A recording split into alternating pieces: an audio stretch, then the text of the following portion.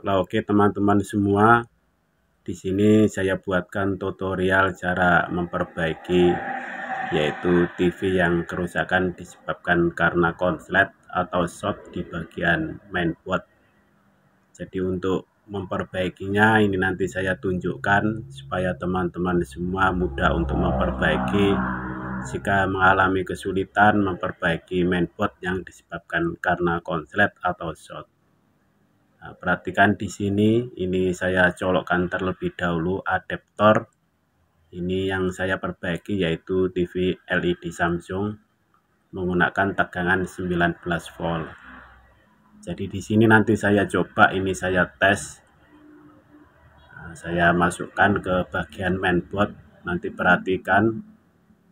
Jadi kalau teman-teman semua mau memperbaiki nah, dengan berbagai masalah sulit. Nah, ini nanti saya tunjukkan cara untuk memperbaikinya supaya lebih cepat. Nah, perhatikan di sini, ini saya ukur, ini ada sekitar 19 volt yang keluar dari adaptor. Nah, TV ini menggunakan yaitu adaptor luar. Nah, ini nanti saya tunjukkan bagaimana kerja pada waktu nah, volt ini saya masukkan ke mainboard. Apakah mesin ini bisa hidup atau bisa menyala. Nah ini saya coba, ini saya dekatkan pada teman-teman semua.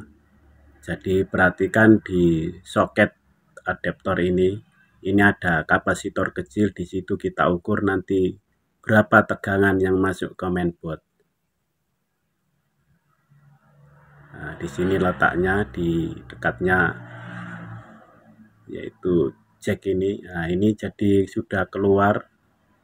Ini ada sekitar 2 volt berubah-ubah padahal ini seharusnya itu 19 volt. Nah perhatikan jadi ini sudah short atau sudah konslet. Nah caranya bagaimana untuk memperbaiki kerusakan seperti ini? Ini saya cabut terlebih dahulu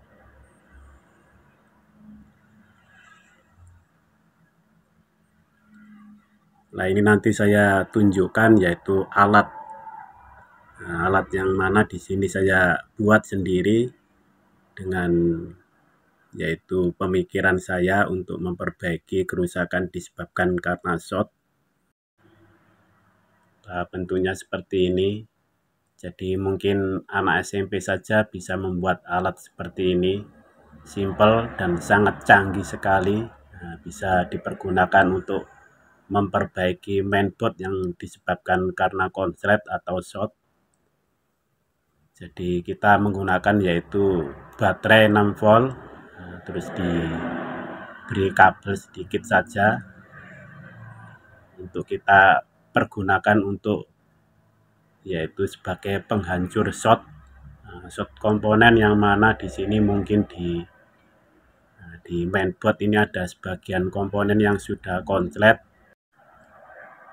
Nah, kemungkinan di sini ada kapasitor atau IC yang sudah konslet atau komponen yang kecil-kecil di dekatnya IC itu ya semuanya itu bisa menjadikan yaitu mainboard ini tidak bisa hidup atau konslet di bagian tegangan. Jadi caranya ini nanti saya tunjukkan. Nah, ini ada yaitu yang saya pegang ini stick warna hitam bagian ground ini saya tancapkan di body TV terus yang positifnya ini nah, kita harus berhati-hati. Nah, ini saya coba ini saya tes terlebih dahulu. Nah, di nah, di sini di kapasitor. Jadi kita tekan sedikit saja nanti teorinya itu seperti itu.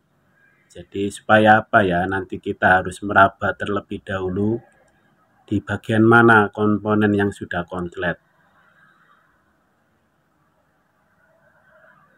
Jadi kita harus betul-betul berhati-hati, jangan di situ terburu-buru, yang penting itu hasilnya.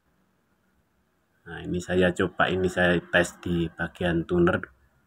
Nah ini sudah kelihatan menyala. Nah sekarang saya coba ini saya tancapkan di bagian kapasitor dari tegangan 19 volt. Lah kita tekan nah, kita konsletkan sedikit-sedikit saja sambil kita angkat. Jangan di situ langsung ditancap. Jadi kita sentuh sedikit saja supaya kita nanti tahu pada waktu kita meraba yaitu seluruh bagian komponen di mainboard. Nah, seperti ini jadi kita tekan sedikit-sedikit nah sudah selesai sekarang ini saya coba ini saya raba terlebih dahulu Nah, di sini setelah saya raba, jadi komponen satu persatu saya pegang. Jadi di sini ada beberapa komponen yang sangat hangat sekali. Nah, di kelihatannya di sebelah nah, sebelah sini ini ada hawa panas. Jadi kemungkinan di bagian situ. Nah, ini nanti saya coba ini langsung saja saya tancapkan di tegangan 19 volt nah, tidak basa-basi langsung saja ini nanti saya tancapkan jadi supaya tahu di mana letak shotnya nah, perhatikan kita tunggu Nah, itu jadi ada asap yang keluar dari IC. Jadi menandakan bahwa ada IC yang sudah komplit jadi dengan menggunakan alat yang sangat canggih sangat simpel sekali murah tidak usah kita membeli dengan yaitu alat yang harga mahal cukup pakai yaitu baterai 6 volt jadi kelihatan dari IC nya ini sudah kelihatan hangus uh, ini nanti saya copot terlebih dahulu Jadi kalau teman-teman semua mau belajar tetap bersama saya. Nah ini sudah saya copot. Nah, kalau kita ingin tahu berapa tegangan yang sudah disebabkan karena IC ini sudah terbakar. Jadi IC ini 8 kaki.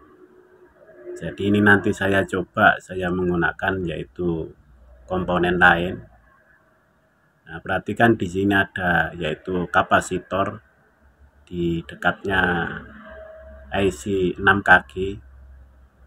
Jadi kalau saya lihat ini di bagian yaitu yang masuk ke bagian panel. Nah, arahnya ke sini. Dari perkiraan saya itu di IC 6 kaki itu jalurnya ke situ. Nah, ini kemungkinan nih nanti saya coba saya hidupkan terlebih dahulu. Nah ini saya keluarkan yaitu kotak Doraemon saya. Alat saya yang sudah saya pergunakan untuk modifikasi segala merek TV jadi ini nanti saya menggunakan yaitu step down yaitu untuk menurunkan tegangan Nah, ini jadi IC yang mana di sini sudah saya simpan untuk perbaikan segala merek TV. Nah, di sini saya coba ini saya cari jalur yang pas untuk saya memasukkan tegangan. Ini nanti teman-teman semua saya beritahu cara untuk memasang yaitu step down untuk memperbaiki kerusakan disebabkan karena IC yang sudah terbakar. Jadi jangan di situ di stop untuk kita. Jangan lupa untuk subscribe supaya tambah berpengalaman bersama saya nah ini saya coba ini saya colokkan adaptor 19 volt. Lah ini jadi sudah menyala. Jadi tegangan berapa ini nanti saya tunjukkan. Ini mau saya lihat apakah gambar sudah keluar. Nah ini kelihatan dari step down sudah menyala. Nah ini saya lihat terlebih dahulu. Lah ternyata sudah keluar ke pure. Jadi sudah ada harapan bahwa TV ini bisa hidup kembali dan akan saya berikan kepada yang punya. Apakah gambarnya juga sudah kelihatan bagus?